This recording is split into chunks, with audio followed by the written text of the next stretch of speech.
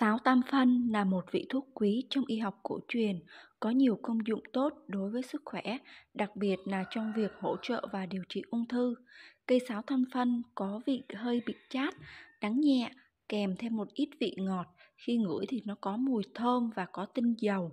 Đặc điểm, thân và cành có nhiều gai, lá đơn, thân cây có chiều dài hơn 5 mét, đường kính khoảng 8 đến 12 cm Bộ phận thường dùng là phần rễ của cây sáo tam phân vì rễ là cái nơi cất giữ được nhiều dược tính tốt nhất.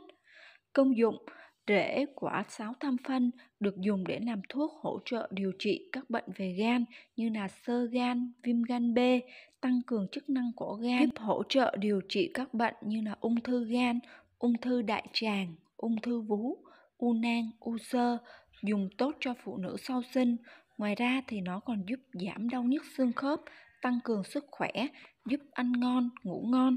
Về cách dùng thì mình dùng dưới dạng rễ cây, một ngày mình dùng với liều lượng từ 50 đến 60 g rễ khô để mình sắc nước uống hàng ngày.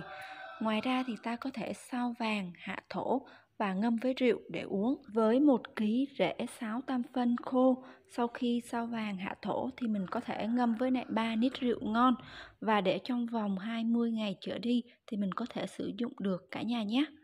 Hiện tại thì bên shop mình đang cung cấp rễ 6 tam phân, hàng chuẩn, rất là tốt. Cả nhà có nhu cầu muốn mua thì hãy liên hệ trực tiếp với shop có số điện thoại mình để ở bên trên nha. Video của mình đến đây là hết rồi. Cảm ơn cả nhà đã theo dõi.